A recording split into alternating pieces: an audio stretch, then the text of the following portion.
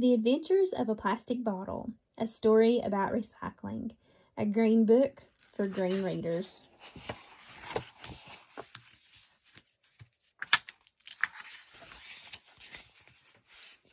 January 1st. Dear Diary, do you ever get the feeling you were meant to do something? Right now, I'm a thick, oozing blob of crude oil deep underneath the ocean floor, and I've been here for thousands of years. But someday I could be made into fuel like gasoline for cars or jets, or I could even be made into, into tar or asphalt and help build roads. I hear something cranking and clattering above. I better go check it out. January 11th. Hi, diary. Guess what that noise was? It was a huge drill.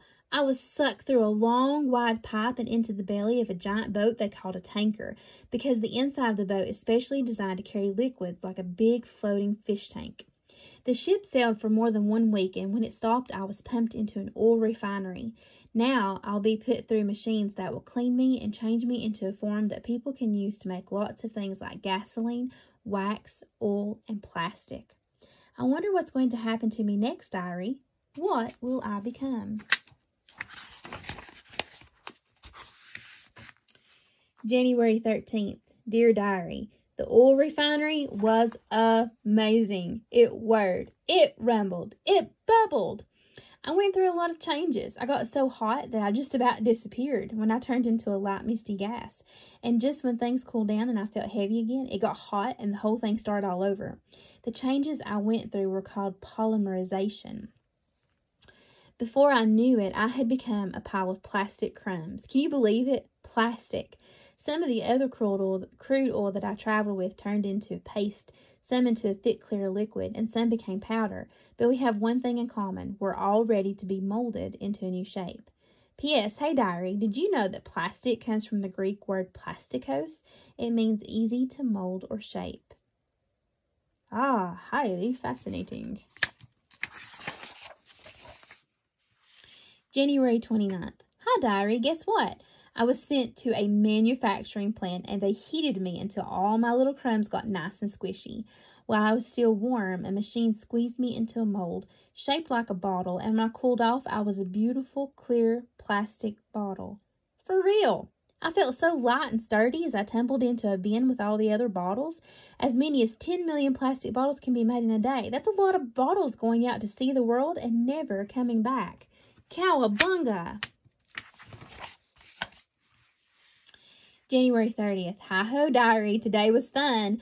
Being a bottle is great. I was clipped onto a bottling line. Whee! I flew down the line and went round and round and up and down. Along the way, I was washed and sterilized, and then I was filled with fresh water. I even got a spiffy label. They're putting all of us bottles into boxes now. I can hardly wait to see the rest of the world. More adventures await me. February 13th. Hey diary, today I arrived at a grocery store. They loaded me into a refrigerator right in the front row where I had a great view of everything around me. The store was filled with plastic containers in all shapes and sizes. I wonder where we'll all go once we've left the store. Maybe I'll find out soon.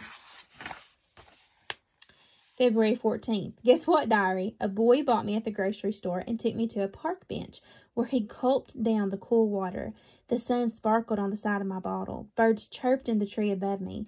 There were pretty flowers all around. It was so beautiful that I didn't want it to end. But then something even more wonderful happened. The boy rinsed and filled me with warm water, put a flower inside me, and gave me to his mother. I had become a Valentine's Day present.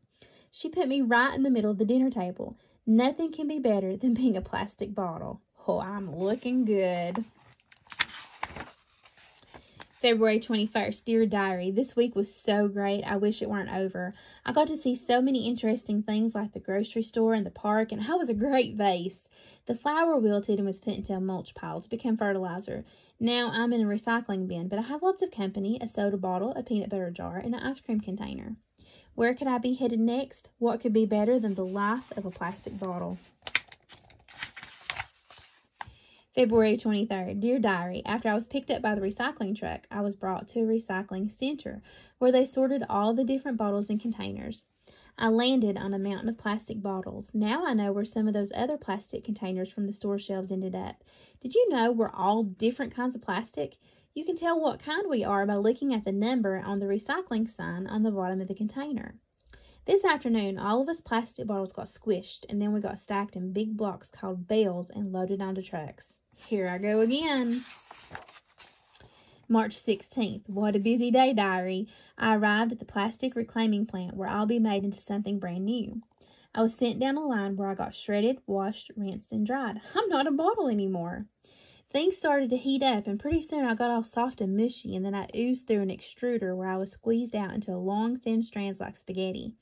After that, I got chopped into small bits. I liked being a bottle, but I think I'm ready for a new adventure.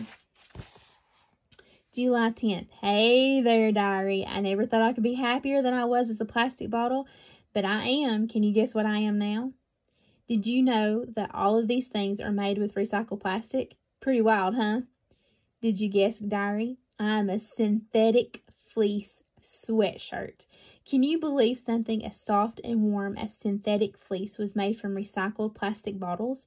I went from crude oil to plastic crumbs to a plastic bottle to a vase and finally to a recycled fleece sweatshirt. I'm being worn by an astronaut headed to space.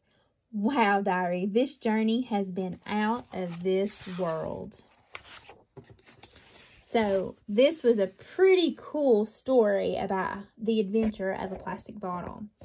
So we know that it's important to recycle plastic because plastic is made from crude oil that is drilled from the ground. And we know that drilling causes pollution. So it's very important for us to recycle our plastic.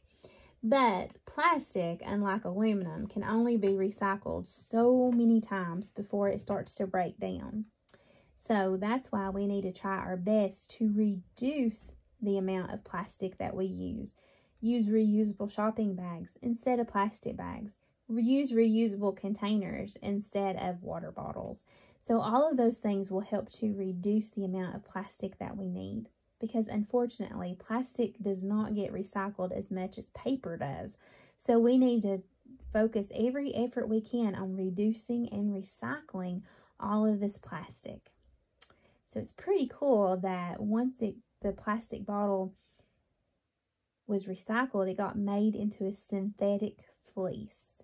Probably won't be able to be recycled again after that, but that's pretty cool, isn't it? So I hope you can come up with some ways to either reuse some plastic or um, make a choice to recycle the plastic. But we would love to see any pictures that you have of things that you create from plastic bottles. That would be awesome. You can always send it to Keep Cocke County Beautiful's email or to their Facebook page. So we hope that you enjoy the adventures of plastic bottles.